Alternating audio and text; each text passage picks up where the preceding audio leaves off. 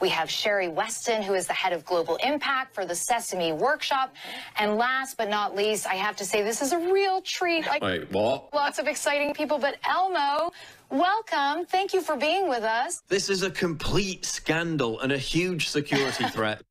Elmo, can I just start by asking you, because I know you went to visit a refugee camp in Jordan, right? Yeah. February? Yeah. What was it like? They're not refugees. Half of them disappear on arrival. We did. Many of them support ISIS. And it's partly your fault.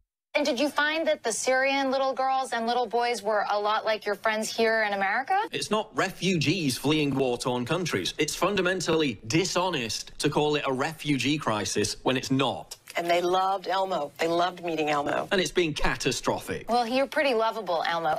So we're getting a lot of questions coming in, unsurprisingly, because we do have a, a pretty stellar cast here. But keep sending them in, Facebook users, as you think of questions you'd like answered. Just place them in the comment section, and we will try to get to as many of them as we can. I've got a question coming in now for Elmo. Wait, what? Surprise, surprise. Elmo, let me ask you, was it sad for you to meet little boys and girls who had lost their homes? George Soros open society backed foundations like Avaaz.org, Medicine Sans Frontiers, and MoveOn.org are also allegedly involved. Soros invested $500 million to, quote, help refugees.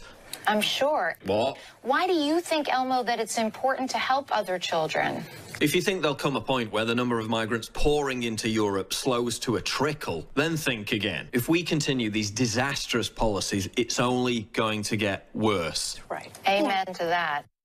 And of course, CNN, the globalists, eight years ago, seven years ago, openly started the Arab Spring to put radical jihadists in, overthrew five or six countries, did all this, but now they're going to send Elmo for the kids that are being mass murdered and slaughtered. I mean, they're just sick.